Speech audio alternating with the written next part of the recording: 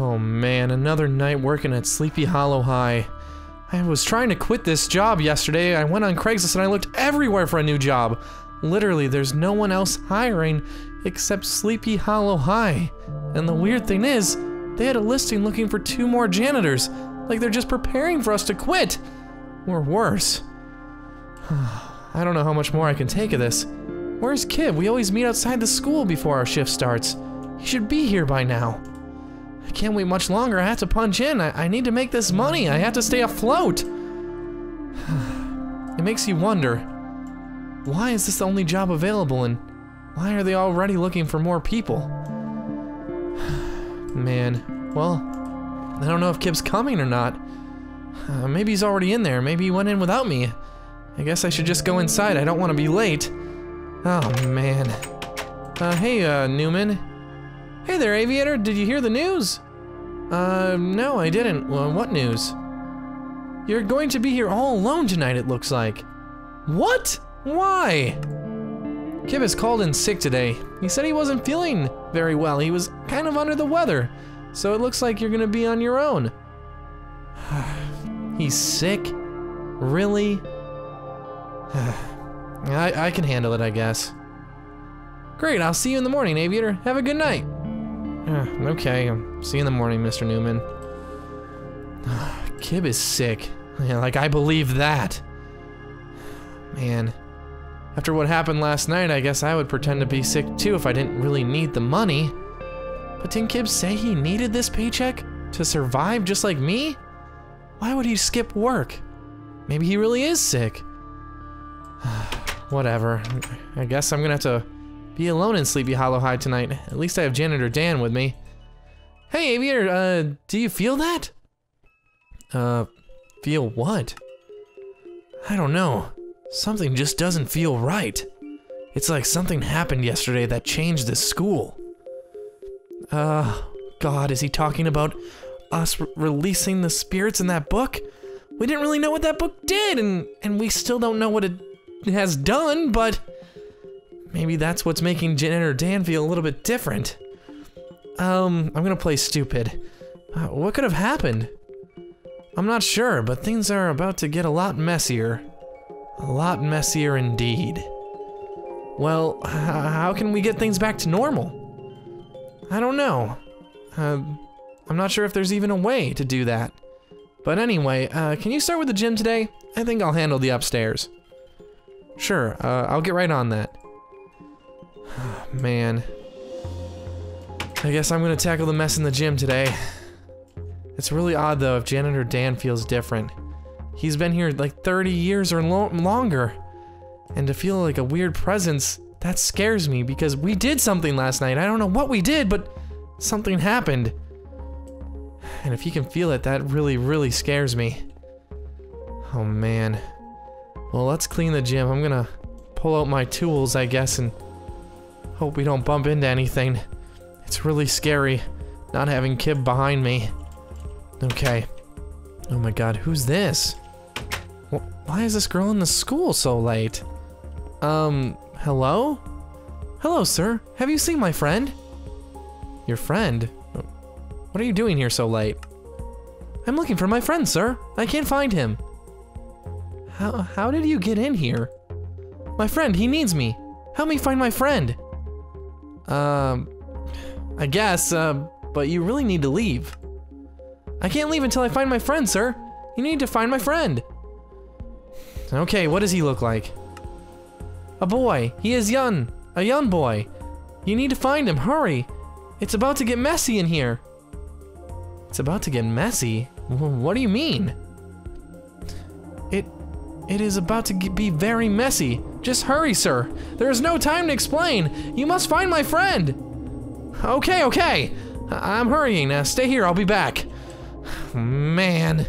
Just when I thought uh, I just had to clean up a mess in the school, some girl breaks into the school late at night and now she sends me on a wild goose chase to find her friend? A young boy? The girl looked like a teenager though. Why would her friend be a small boy? Unless it's her brother, but then why wouldn't she say her brother? Where would this kid be? Maybe he's in the light booth? Wait, where does this go to? Oh, wow. Oh, wow, okay, so he's not in the auditorium. And he's not in the light booth.